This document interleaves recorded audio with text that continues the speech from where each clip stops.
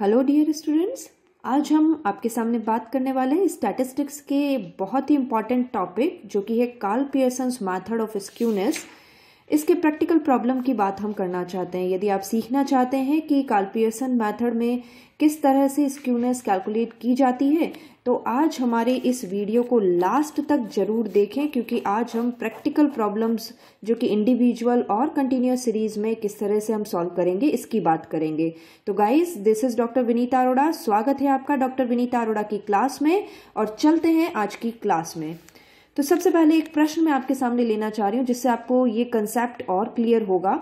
इससे पहले मैं बता दूँ आपको कि आप हमारा, इससे पहले का वीडियो जो कि है, हमारा कंसेप्चुअल स्क्यूनेस को समझने के लिए उस वीडियो को इंट्रोडक्टरी पार्ट को ज़रूर से गो थ्रू करें, जिसके लिए आई बटन पर क्लिक कर सकते हैं, या फिर आप हमारे डिस्क्रिप्शन बॉक्स में उसका लिंक देख सकते हैं। तो गाइज़ कार्लपियर्सन के मेथड के लिए हमें आज जो क्वेश्चन मैंने लिया है वो कुछ इस तरह से कि निम्नलिखित सूचना से ज्ञात कीजिए कि कौन सा वर्ग अधिक विषम है।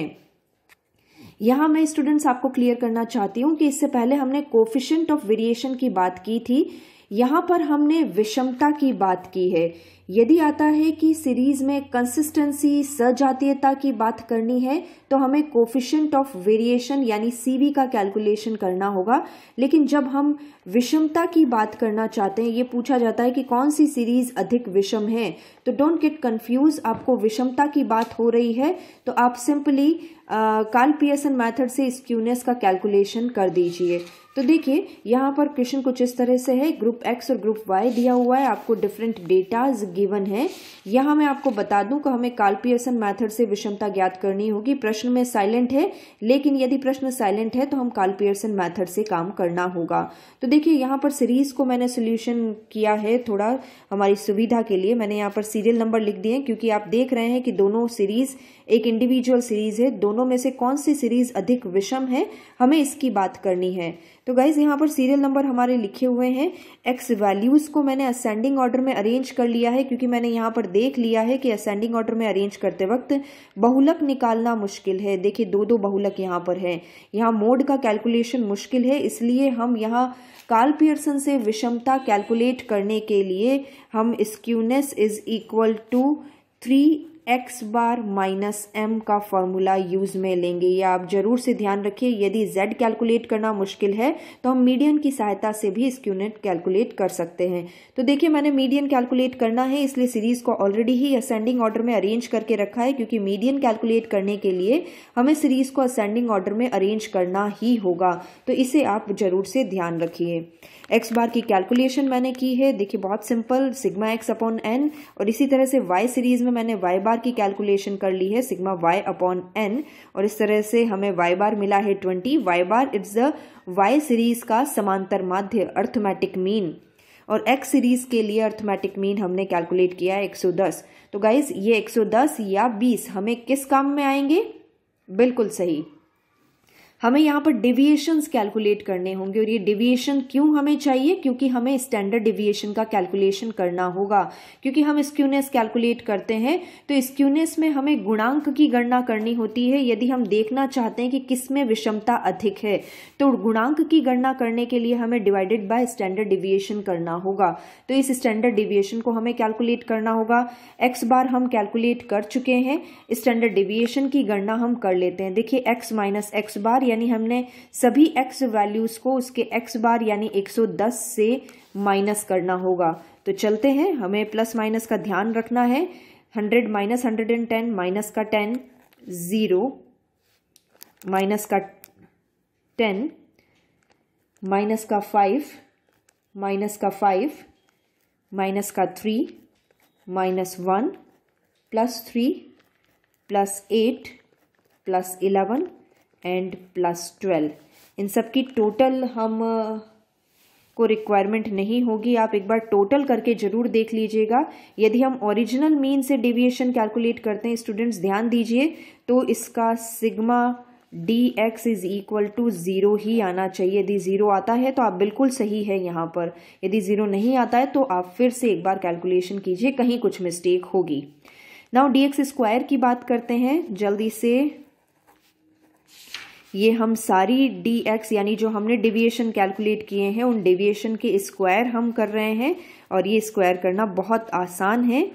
ये हमने स्क्वायर कैलकुलेट कर लिए। हमें इन सब की टोटल चाहिए। ये टोटल मैंने पहले ही निकाल कर रखी है समय बचाने के लिए तो ये टोटल आ जाती है 598 तो देखिए हमें सिग्मा डी एक्स स्क्वायर की वैल्यू मिल गई है तो अब हम स्टैंडर्ड डिविएशन कैलकुलेट कर सकते हैं, जिसका फॉर्मूला है sigma D X square upon N हमारा सिग्मा डी एक्स स्क्वायर जो है, वो है 598 अपॉन एन हमारा है 10 तो हमारा स्टैंडर्ड डिविएशन जो कैलकुलेट हुआ है, वो कुछ इस तरह से 59.8 का अंडर रूट। तो देखिए 59.8 का अंडर रूट हम करते हैं और 59.8 का अंडर रूट जो हमें मिल रहा है वो है 7.733 तो गाइज़ इस तरह से हमने स्टैंडर्ड डिविएशन भी कैलकुलेट कर लिया एक्स बार भी कैलकुलेट कर लिया। अब जल्दी से हम बात कर लेते हैं मीडियन की वैल्यू पर, क्योंकि मैंने कहा है कि हमें जेड कैलकुलेट करना मुश्किल है तो इसलिए हम मीडियन कैलकुलेट करते हैं और क्योंकि इंडिविजुअल सीरीज़ है तो इंडिविजुअल सीरीज़ का हमारा formula N plus one divided by twoth value तो एन हमारे पास है ten plus one divided by two यानी फाइव पॉइंट फिफ्थ वैल्यू की हम बात करेंगे। देखिए फाइव पॉइंट फिफ्थ वैल्यू हमारी क्या रहती है? हमें पांचवा और छठा आइटम लेना होगा। पांचवा और छठा आइटम 107 और 109 और क्योंकि हमें फाइव पॉइंट फिफ्थ आइटम चाहिए तो ऐसी स्थिति में 107 और 109 का एवरेज हम निकाल लेंगे। तो हमारा यहाँ पर जो मीडियन बन रहा है, वो मीडियन है हमारा क्योंकि हमें आइटम चाहिए तो हमारा मीडियन जो बन रहा है वो 108 हुआ। ध्यान से समझिएगा, क्योंकि 5.5 आइटम है तो हमें पांचवी और छठी आइटम का एवरेज निकाल लेना होगा, और ये एवरेज जो हमारा बन रहा है 108 तो गाइज़ हमारे पास तीनों ही वैल्यू मिल चुकी है। इन तीनों ही वैल्यू से हम जे एक्स निकाल देते हैं कोफिशेंट ऑफ़ स्क्यूनेस कैलकुलेट कर लेते हैं, और ये कुछ इस तरह से। देखेगा थ्री एक्स बार है हमारा 110 माइनस एम हमारा 108 डिवाइडेड बाय स्टैंडर्ड डेविएशन है हमारा 7.733 इसको कैलकुलेट करते हैं और कैलकुलेशन करने के बाद जो वैल्यू हमें मिल रही है वो है हमारी 0.776 तो गाइज़ ये हमारा स्क्यूनेस का ए सीरीज़ जो हमारी एक्स सीरीज़ है, उसकी कोफिशेंट ऑफ़ स्क्यूनेस हमने कैलकुलेट किया। यही सारा काम आप वाई सीरीज़ के लिए भी कीजिए। तो जल्दी से शुरू हो जाते हैं। एक्स बार हम कैलकुलेट कर ही चुके हैं 20 और डेविएशन कैलकुलेट करते हैं y माइनस ट्वेंटी से। या जो y सीरीज़ है, उससे हम डेविएशन कैलकुलेट करें। माइनस का पाँच माइनस का चार माइनस का तीन माइनस का तीन माइनस का दो प्लस का एक प्लस का दो प्लस का तीन प्लस का पाँच प्लस का छ ये हमारा ज़ीरो होना चाहिए। यदि ये ज़ीरो है तो हमारा सारा कैलकुलेशन सही है। स्क्वायर करते हैं पच्चीस सोलह थ्री थ्री ज़ा nine nine four one four nine twenty five and thirty six इसका टोटल हमारा होता है one thirty eight now value रखिए one thirty eight divided by N है हमारा टेन हमने यहाँ इसे कैलकुलेट किया थर्टीन पॉइंट एट का अंडर रूट आप कैलकुलेट कर लीजिए थर्टीन पॉइंट एट का अंडर रूट जो होगा वो होगा three point seven one five तो गाइज़ ये हमारा हमारा स्टैंडर्ड डिविएशन भी कैलकुलेट हो गया। जल्दी से हम कैलकुलेट करते हैं median N plus one divided by two वही हमें फाइव पॉइंट फिफ्थ आइटम देखना है। तो देखिए यहाँ पर फिफ्थ और सिक्स आइटम जो हमारा वाई सीरीज़ में है, अट्ठारह और इक्कीस। अट्ठारह और इक्कीस का आप एवरेज निकाल दीजिए। तो अट्ठारह और इक्कीस का एवरेज जो बैठता है वो उन्नीस पॉइंट पाँच होता है। ध्यान दीजिएगा, क्योंकि हमारा फाइव पॉइंट फिफ्थ आइटम है गाइस तो ऐसी स्थिति में हमें पांचवे और छठा जो आइटम है, उसका एवरेज निकाल देंगे, वो हमारा मीडियन कैलकुलेट होगा।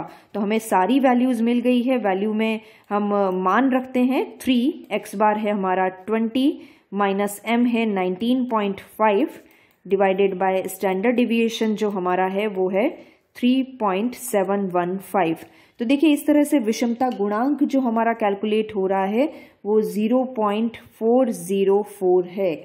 तो गाइज़ देखिए, यहाँ पर कौन सी सीरीज़ अधिक विषम है, ये आपको पता चल ही रही होगी। हमारी एक्स सीरीज़ की विषमता zero point zero point seven seven six है, जबकि वाई सीरीज़ की विषमता zero point four zero four है। तो आप उत्तर देंगे कि सीरीज़ एक्स अधिक विषम है, और यही आपका आंसर होगा। तो ये इस तरह से हमने इंडिविजुअल सीरीज़ में स्क्यूनेस को देखा। अब हम बात करते हैं, यदि हम कंटिन्यूस सीरीज़ में यदि स्क्यूनेस कैलकुलेट करना चाहें तो एक एग्जामिनेशन क्वेश्चन मैंने आपके सामने लिया है और ये क्वेश्चन कुछ इस तरह का। वेरिएबल यहाँ पर दिए हुए हैं और फ्रिक्वेंसी यहाँ पर दी हुई है। वेरिएबल्स जो दिए हुए हैं, वो कुछ इस तरह से थे एग्ज़ाम में। 2011 जेएनवीयू का क्वेश्चन है। 20.5 से 23.5 का 17 frequency then minus twenty six point five की फ्रीक्वेंसी वन नाइन्टी थ्री ये माइनस नहीं है ये कुल आ, है कि इससे सीरीज़ को कोऑर्डिनेट करना है। तो यहाँ पर स्टूडेंट्स कंफ्यूज हो सकते हैं कि माइनस की वैल्यू क्यों है क्योंकि यहाँ पर हम देखकर पता लगा सकते हैं कि यहाँ वेरिएबल कुछ इस तरह का है तो ये माइनस नहीं हो सकता। तो ऐसी स्थिति में हमें जिस तरह से सीरीज़ बनानी होगी स्टैंडर्ड फॉर्मेट में वो कुछ इस तरह की होगी। देखिए 20.5 से 23.5 23.5 से 26.5 26.5 से 29.5 एंड सो ऑन मैंने इस क्वेश्चन को सॉल्व करके ही रखा है, आपके सामने ज़्यादा हमारा टाइम कंज्यूमिंग ना हो। फ्रीक्वेंसी एज इट इज़ ही उतार ली है, क्योंकि क्वेश्चन में किसी तरह का मोर देन और लेस देन नहीं है, इसलिए चिंता मत कीजिए। हमने फ्रीक्वेंसी को उतार लिया और उसका टोटल भी निकाल लिया। मिड वैल्यूज़ की रिक्वायरमेंट हमें होगी क्योंकि हमें एक्स बार कैलकुलेट करना होगा। तो एक्स बार के लिए गाइस फॉर्मूला लगाइए sigma F X upon N या सिग्मा एफ़ तो देखिए एफ़ एक्स कैलकुलेट करने के लिए हम, ये हमारी एक्स वैल्यूज़ जो कि मिड वैल्यू है और उनको फ्रिक्वेंसी से आपस में मल्टीप्लाई करते चलिए। आपस में मल्टीप्लाई करने के बाद आपकी एफ़ एक्स की वैल्यू आएगी और इसका टोटल मैंने यहाँ निकाल लिया है। गाइज़ मैं आपको बताना चाहती हूँ कि कई सारे स्टैटिस्टिक्स में मैथड्स अवेलेबल हैं, जिनकी सहायता से इन संख्याओं को कम किया जा सकता है, जिसे स्टेप डेविएशन मैथड भी कहते हैं। लेकिन क्योंकि हमें कैलकुलेटर्स अलाउड होते हैं तो इसी स्थिति में आप अपने एक मैथड जो आप कंटिन्यूस फॉलो करते हैं, जिसे आप प्रैक्टिस करते हैं, उन्हीं ही मेथड्स को आप कंटिन्यू रखिए। कैलकुलेटर से यदि आप काम करते हैं तो बहुत ज़्यादा परेशानी नहीं होती है इसलिए संख्याओं से घबराइए मत। बहुत ज़्यादा मैथड्स को सीखने से अच्छा है कि आप एक मैथड को ही कंटिन्यू फॉलो करें उसकी ही प्रैक्टिस डालें। तो मैंने उन्हीं मैथड से ही काम किया है, जो मैंने अपने वीडियोज़ में आपको समझाए हैं। ये simple arithmetic method sigma F X upon sigma F की बात की और इस तरह से हमने जो एक्स बार कैलकुलेट किया है, वो है twenty eighty two. Now X bar हमारा कैलकुलेट हो चुका है। अब हमें स्टैंडर्ड डिविएशन कैलकुलेट करना है तो क्योंकि हमारा एक्स बार पॉइंट्स में है फ्रैक्शन में है तो ऐसी स्थिति में हमें स्टैंडर्ड डिविएशन कैलकुलेट करने के लिए शॉर्टकट मेथड यूज़ में लेना होगा। शॉर्टकट मेथड के लिए मैंने अपने वीडियोस आपको बताए हुए हैं। हमारे चैनल के बिज़नेस स्टैटिस्टिक्स की प्लेलिस्ट में आप जाकर क्या देख सकते हैं कि किस तरह से स्टैंडर्ड डिविएशन कैलकुलेट होगा। उन सारे वीडियोस को आप गो थ्रू ज़रूर कीजिए। तो यहाँ पर हम स्टैंडर्ड डिविएशन कैलकुलेट करने के लिए डिविएशन ले रहे हैं। ए हमने 28 लिया है। तो इस तरह से देखिए, एक्स माइनस ए। एक्स है हमारा मिड वैल्यू बाईस माइनस अट्ठाईस, पच्चीस माइनस अट्ठाईस अट्ठाईस माइनस अट्ठाईस, इकतीस माइनस अट्ठाईस, चौंतीस माइनस अट्ठाईस और सैंतीस माइनस अट्ठाईस। कुछ ये सारी वैल्यूज़ हमारे पास आ गई और क्योंकि हमने शॉर्टकट मेथड से अज्यूम मीन से डिविएशंस लिए हैं, इसलिए डिविएशन हमारा सिग्मा टोटल ज़ीरो नहीं आएगा। क्योंकि अज्यूम मीन से डिविएशन है ओरिजिनल मीन से नहीं। तो इसकी टोटल हमने यहाँ पर ले ली है नाइन इसकी फ़िलहाल हमें रिक्वायरमेंट नहीं है। हमारी रिक्वायरमेंट यहाँ है। यानी अब हमें एफ़ डी एक्स कैलकुलेट करना होगा। फ्रिक्वेंसी और डिविएशन का मल्टीप्लीकेशन देखिए, हमारी फ्रिक्वेंसी है ये। इन फ्रिक्वेंसी के कॉलम को आप ध्यान रखिए और साथ में हमारे ये डिविएशन के कॉलम को आप ध्यान रखिए। आपस में वैल्यूज़ को मल्टीप्लाई करते जाइए। कैलकुलेटर आपके पास है तो डरने घबराने की ज़रूरत नहीं है। इन फिगर्स को आपस में आप मल्टीप्लाई करते हुए चलेंगे तो इस तरह से एफ़ डी एक्स हमारे पास निकल कर आ गया और इसकी टोटल मैंने लगा ली है one fifty three now F D X square F D X square की रिक्वायरमेंट भी हमें स्टैंडर्ड डेविएशन के फॉर्मूले में होगी, इसीलिए मैं आपको बताना चाहती हूँ एफ़ डी एक्स कैलकुलेट करने के दो तरीके हो सकते हैं। या तो आप डेविएशन का स्क्वायर कर लीजिए और उसको फ्रिक्वेंसी से गुणा कर लीजिए। या दूसरा तरीका ये है कि ये जो एफ़ डी एक्स आपने निकाला है, उस एफ़ डी एक्स को फिर से डेविएशन से गुणा कर लीजिए। ये थोड़ा ज़्यादा आसान रहेगा, इसलिए मैंने इन दोनों कॉलम्स को आपस में गुणा करते हुए ये सारी वैल्यूज़ निकाल ली है। यहाँ माइनस माइनस प्लस हो जाता है, इसलिए प्लस नहीं लिखा है। गाइज़ स्टूडेंट्स ध्यान ज़रूर दीजिएगा, क्योंकि यहाँ पर एक हल्का सा, एक सिंपल सा माइनस भी हमारे पूरी संख्याओं का खेल बिगाड़ सकता है। इसलिए प्लस माइनस की संख्याओं का बहुत अच्छे से ध्यान रखते हुए कैलकुलेशन आपको करना होगा। तो मैंने यहाँ एफ़ डी एक्स स्क्वायर निकाल दिया और इसकी टोटल रही फाइव एट डबल सेवन तो देखिए स्टैंडर्ड डिविएशन के फॉर्मूले में हम रखते हैं। स्टैंडर्ड डिविएशन का हमारा फॉर्मूला है sigma F D X square upon sigma F minus sigma F D X upon N का होल स्क्वायर यहाँ एन की जगह हम सिग्मा एफ़ भी कर सकते हैं, कोई इशू नहीं है। यहाँ क्योंकि हम शॉर्टकट मेथड यूज़ ले रहे हैं, इसलिए मैंने शॉर्टकट मेथड का फॉर्मूला लिया है। अज्यूम मीन से कैलकुलेशन की है, इसलिए शॉर्टकट मेथड का फॉर्मूला संख्याएँ डाली है, हमने ये सारी वैल्यूज़ पुट की है। इन वैल्यूज़ को पुट करने के बाद फॉर्मूले को सॉल्व किया तो कुछ इस तरह से फॉर्मूला सॉल्व करना मैं आपको बता देती हूँ। सबसे पहले आप 153 डिवाइडेड बाय 840 करिए। जो भी वैल्यू आती है, उसका स्क्वायर कर दीजिए। ये स्क्वायर करने के बाद हमारी जो वैल्यू रहेगी, वो 0.33 directly five eight double seven को three eight eight four zero से डिवाइड कर लीजिए और जो वैल्यू हमारी है six point nine nine now आपस में इन्हें पहले माइनस करिएगा और फिर इनका अंडर रूट निकालिए तो हमारे पास जो वैल्यू आएगी वो टू पॉइंट फिफ्टी एट तो इस तरह से हमने स्टैंडर्ड डिविएशन भी कैलकुलेट कर लिया। नाउ बात आती है z की, क्योंकि कंटिन्यूस सीरीज़ है तो हमें z कैलकुलेट करना आसान है, इसलिए हम मीडियन वाले फॉर्मूले पर नहीं जाएँगे। Z कैलकुलेट किया जा सकता है। तो देखिए, z कैलकुलेट करने के लिए सबसे पहले मुझे बाय इंस्पेक्शन मॉडल क्लास मैंने निकाल ली है। मॉडल क्लास से मतलब जो सबसे ज़्यादा फ्रिक्वेंट हो, जिसमें सबसे ज़्यादा हेवी फ्रिक्वेंसी हो तो ये 399 सबसे बड़ी फ्रिक्वेंसी के साथ मैंने इसे मॉडल क्लास आइडेंटिफाई किया है। और मॉडल क्लास आइडेंटिफाई करते ही मुझे एफ़ ज़ीरो एफ़ वन और एफ़ टू का रिक्वायरमेंट होगा। मेरी बिज़नेस स्टैटिस्टिक्स नाम की प्लेलिस्ट में मॉडल कैसे कैलकुलेट करते हैं, इसके बारे में पूरी बात की गई है, आप उसे ज़रूर से समझें। तो यहाँ पर मैंने आइडेंटिफाई कर लिया है, मेरा एफ़ ज़ीरो है 193 एफ़ वन है 390 399 और एफ़ टू है 194 तो गाइज़ अपने फॉर्मूले में मैंने वैल्यू रखी है जेड का formula L one plus F one minus F zero divided by two F one minus F zero minus F two multiplied by I value put की है वैल्यू पुट करने के बाद ध्यान दीजिएगा, ढंग से वैल्यू पुट कीजिए, आपका क्वेश्चन गलत नहीं होगा। यहाँ पर वैल्यू पुट करने के बाद इसे सॉल्व कीजिए। सबसे पहले अंश, यानी न्यूमरेटर को सॉल्व करते हैं। 399 में से 193 को माइनस करिए और 3 से मल्टीप्लाई कर लीजिए। नाउ डिनोमिनेटर को सॉल्व करें तो 399 को दो से गुणा कर लीजिए और उसमें से 193 और 194 माइनस कर लीजिए। अब जो वैल्यू यहाँ पर और यहाँ पर है, उसे आपस में डिवाइड करिए। डिवाइड करने के बाद हमें जो वैल्यू मिलेगी वो 1.50 26.5 हमारे पास ऑलरेडी है।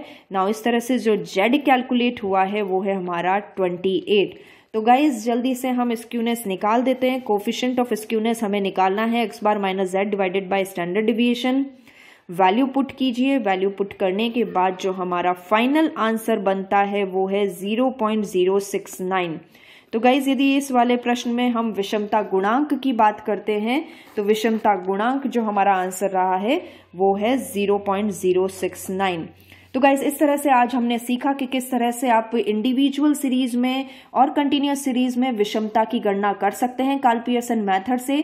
यदि आपको हमारा वीडियो पसंद आ रहा है तो हमारे वीडियो को लाइक करें, ज़्यादा से ज़्यादा शेयर करें और हमारे चैनल को सब्सक्राइब करना तो बिल्कुल भी ना भूलें। Thank you guys thank you so much